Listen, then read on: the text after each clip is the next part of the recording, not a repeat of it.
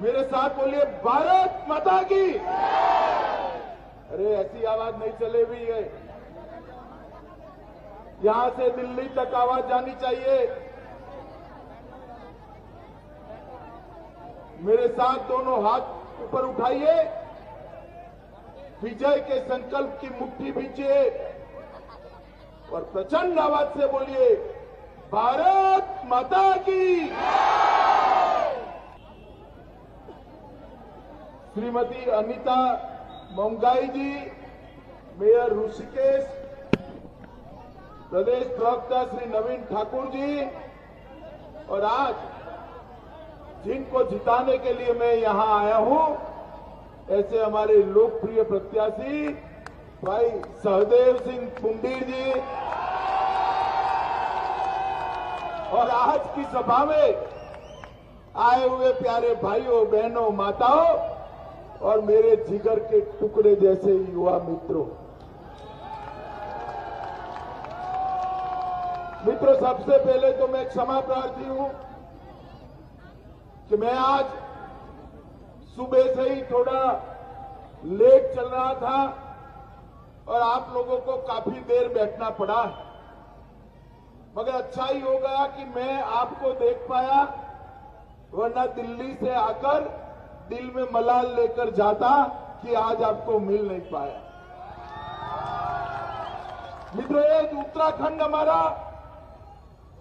इसको पूरी देश और दुनिया देवभूमि के नाम से जानता है और पूरा देश इसको वीर भूमि के नाम से भी जानता यहीं पर भगवान केदारनाथ स्वयं विराजते हैं। बद्री विशाल भी है। गंगोत्री और यमुनोत्री यहीं से माँ गंगा और जमुना निकलकर समग्र विश्व का कल्याण करती है। हेमकुंड साहिब भी यहीं पर है। ये देवभूमि को मैं बार बार प्रणाम कर कर मेरी बात की शुरुआत करना चाहता हूँ। देश का कोई हिस्सा ऐसा नहीं होगा देश का कोई गाँव ऐसा नहीं होगा जहाँ से उत्तराखंड के चार धाम की यात्रा पर कोई न कोई नहीं आया होगा। ऐसा पूरे देश का एक भी गाँव नहीं मित्रों, आज मैं जब यहाँ आया हूँ तब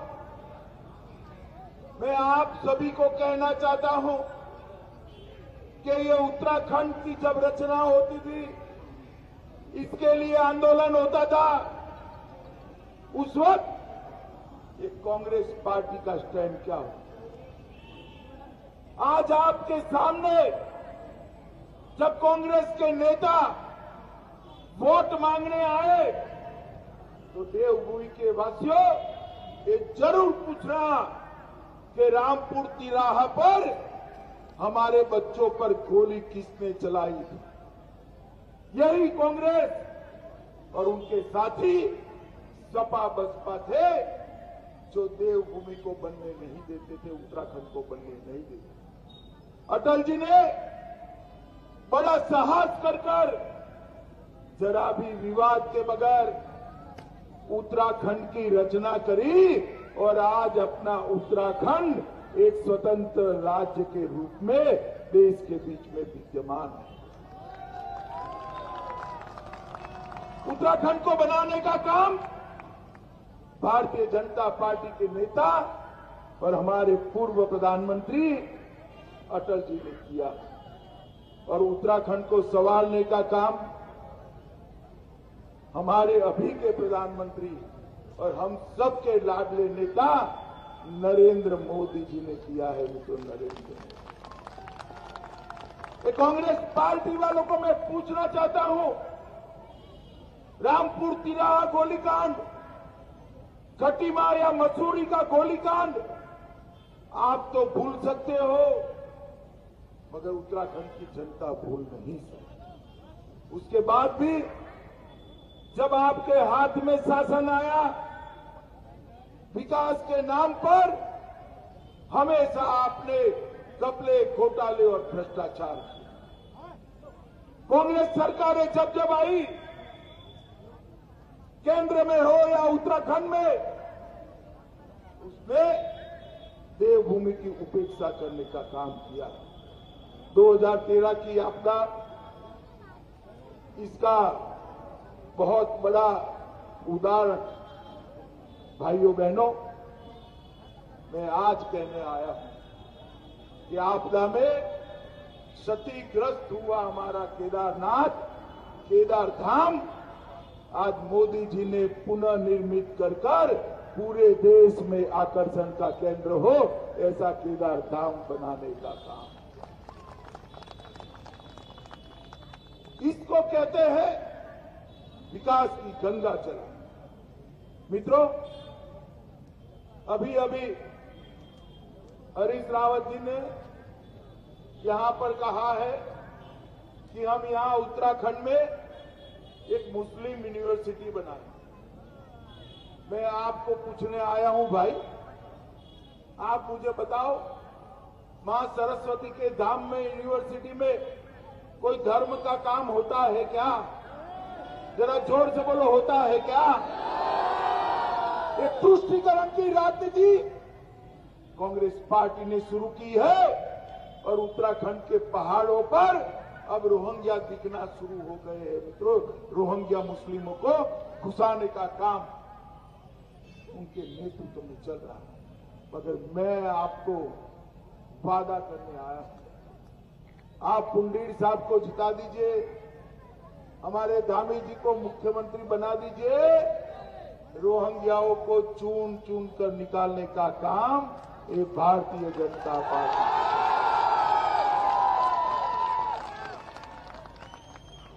एक और हम चार धाम के विकास के लिए काम करते हैं।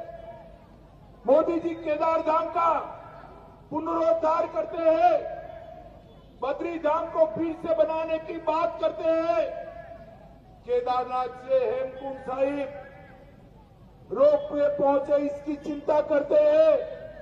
तो दूसरी ओर कांग्रेसी कलेक्टर के पास जा जाकर एक रोहिंग्या घुसपैठियों को राशन कार्ड और आईडी कार्ड देने का काम करवा मैं आपको कह रहा उत्तराखंड के अंदर ये प्रवृत्ति को हम नहीं चलने देंगे, मित्रों, जरा भी नहीं चलने हमारा कांग्रेस ने यहाँ पर चार धाम, चार काम का नारा दिया है। आज प्रियंका जी आने वाली है। नारे को उन्होंने दोहराया है। मैं उनको पूछना चाहता हूँ, प्रियंका बहन, आपकी तो चौथी पीढ़ी है, हर पीढ़ी में एक एक काम करते ना तो हमारे लिए कोई काम नहीं बचता आज तक क्यों नहीं किया? सत्तर साल तक।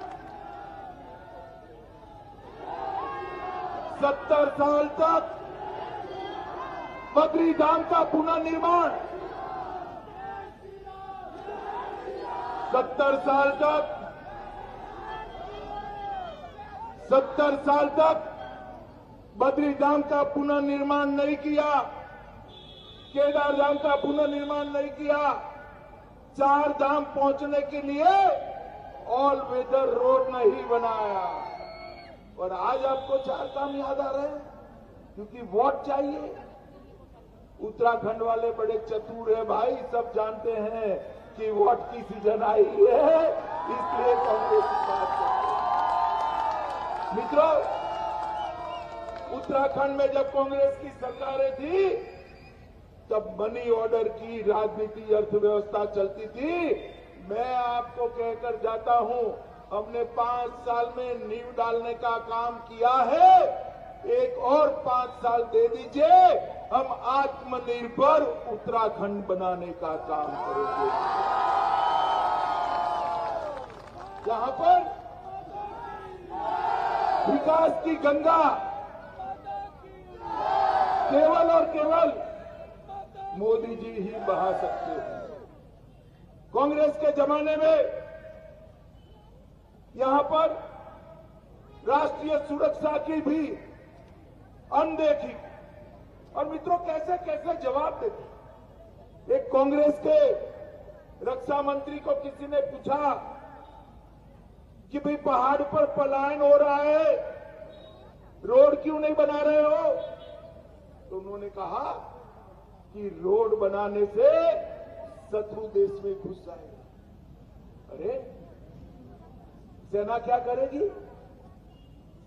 मैं आज आपको बताने आया हूँ, मित्रों नरेंद्र मोदी की भारतीय जनता पार्टी की सरकार है। किसी की हिम्मत नहीं है, हमारी सीमा और सेना पर आँख उठा कर दे दस साल तक सोनिया मनमोहन की कांग्रेस की सरकार चलती थी। पाकिस्तान से आलिया, मालिया, जमालिया घुस जाते थे। हमारे जवानों के सर काट कर ले जाते थे। और मनमोहन सिंह उफ नहीं कर सकते। मोदी जी की सरकार आप लोगों ने बना दी। चौदह में पाँच की पाँच सीटें दे दी। पूरी और पुलवामा उरी और पुलवामा में हमला हुआ। हमारे जवानों को मार दिया गया। पाकिस्तान को लगा कि अब भी कुछ नहीं होगा, वो भूल गए कि अब कांग्रेस की सरकार नहीं है। भारतीय जनता पार्टी की सरकार है, मित्रों, भारतीय जनता पार्टी। और अब और अब मनमोहन सिंह प्रधानमंत्री नहीं है। श्री मोदी जी प्रधानमंत्री है। दस ही दिन में सर्जिकल स्ट्राइक और एयर स्ट्राइक कर कर पाकिस्तान के घर में घुसकर आतंकवादियों का सफाया करने का काम नरेंद्र मोदी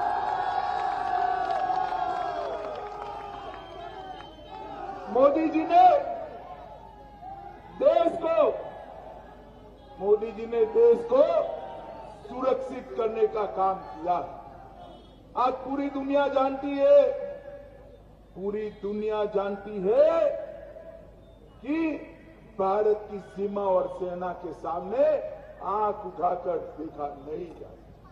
मित्रों, मैं उत्तराखंड के विकास की बात बाद में करता हूँ। पहले हमारे सहसपुर विधानसभा में मालडूम पेयजल योजना के तहत 150 करोड़ रुपए से पीने के पानी की योजना भारतीय जनता पार्टी की सरकार ने बनाई। इसमें श्यामा प्रसाद मुखर्जी जलाशय परियोजना के तहत तिरपन गाँवों में शुद्ध पीने का पानी पहुँचने वाला। कड़वा पानी पेयजल योजना हमने बनाई।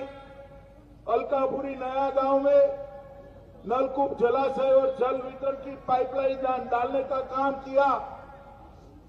शहीद सत्येंद्र चौहान, राजकीय इंटर कॉलेज और सेला की अटल आदर्श विद्यालय बनाने का काम भी ये भारतीय जनता पार्टी। आसन और शीतला नदियों पर बाढ़ को रोकने का काम किया और इस सहजपुर में एक साइंस सिटी डेढ़ सौ करोड़ रुपए के खर्चे से बनाई, जिससे पूरे उत्तराखंड के बच्चे विज्ञान को जान सके। मित्रों, हमने ढेर सारे विकास के काम किए हैं। मोदी जी ने हर गरीब के घर में गैस भेजने का काम किया हर घर में शौचालय भेजने का काम किया है। हर घर में बिजली पहुंचाई है।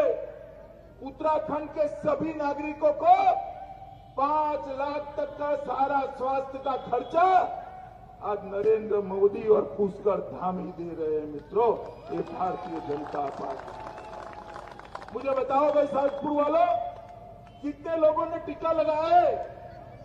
जरा हाथ ऊपर करो। सबका लगाया ना? सबका लगाया ना?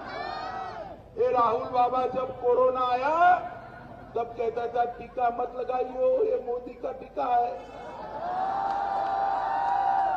बाद में डर कर उसने भी टीका लगा दिया। भी मगर उत्तराखंड वालों, आप उनकी सुनते नहीं हो, मुझे मालूम है। मगर उनकी सुनकर जो टीका न लगाया होता तो तीसरी लहर में सुरक्षित रह पाते क्या? ज़ोर से बोलो, रह पाते क्या? माताओं भाइयों, बहनों।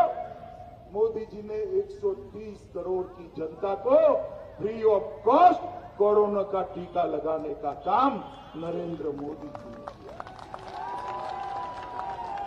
मोदी जी ने दो साल तक देश के 80 करोड़ गरीबों को हर माह पाँच किलो मुफ़्त अनाज देने का काम कर कर गरीब के घर के चूल्हे को जलता रखने का काम हमारे प्रधानमंत्री नरेंद्र मोदी और कांग्रेस वाले, टीका करने में से ऊपर ही नहीं आते। मैं उनको पूछना चाहता हूँ, प्रियंका जी आज आई है तो कह कर जाना, मोदी जी ने उत्तराखंड में अस्सी हज़ार गरीबों के घर बनाए। पाँच पीढ़ी हो गई आपकी। आपने कितने बनाए थे? आंकड़ा कहकर जाना। सत्तर हज़ार से ज़्यादा लोगों को गैस के सिलेंडर दिए और डेढ़ लाख घरों में शौचालय बनाने का काम भारतीय जनता पार्टी की मोदी सरकार ये उत्तराखंड में एक भी घर ऐसा नहीं है जहाँ से कोई न कोई सेना में न गया इसलिए उत्तराखंड को वीर भूमि कहा जाता है।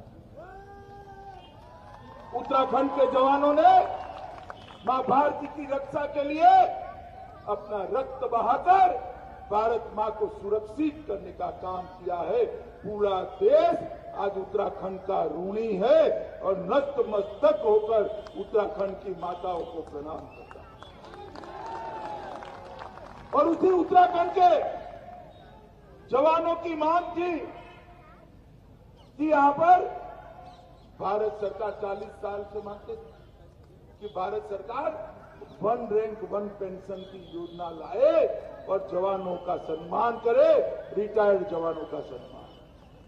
मित्रों, भारतीय जनता पार्टी की नरेंद्र मोदी सरकार ने 40 साल से एक कांग्रेस करते नहीं थे। नरेंद्र मोदी सरकार ने आने के बाद एक ही साल में सेना के जवानों को वन रैंक, वन पेंशन देने का काम कर दिया।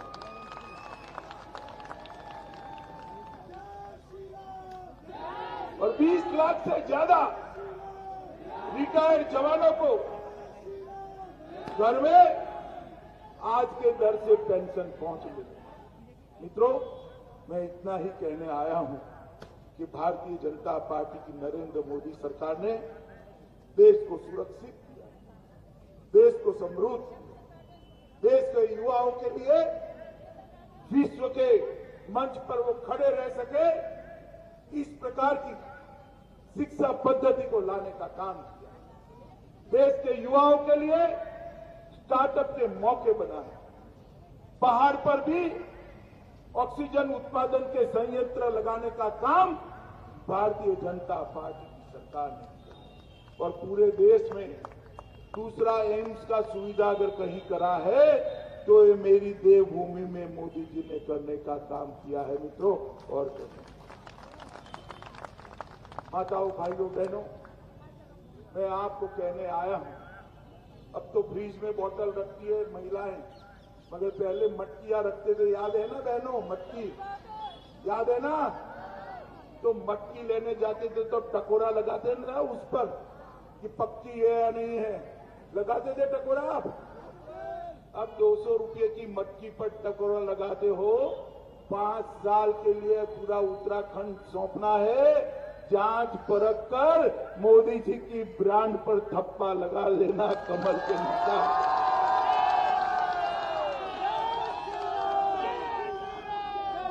मित्रों, डबल इंजिन सरकार ऊपर नरेंद्र मोदी जी। और यहाँ पुष्कर धामी जी।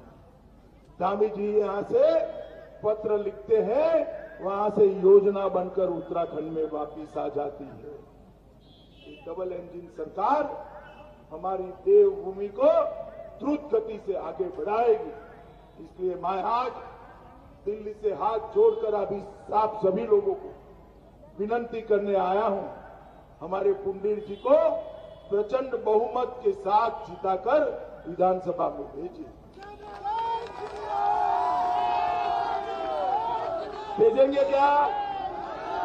ज़ोर से बोलो, भेजेंगे क्या? कमर के निशान पर बटन दबाएँगे क्या? पुष्कर धामी को मुख्यमंत्री बनाएँगे क्या? मोदी जी के हाथ मज़बूत करेंगे क्या? तो मेरे साथ दोनों हाथ उठाइए। उठाइए दोनों हाथ। विजय के संकल्प की मुट्ठी बीचिए और प्रचंड आवाज़ से बोलिए, भारत माता की भारत माता की भारत माता की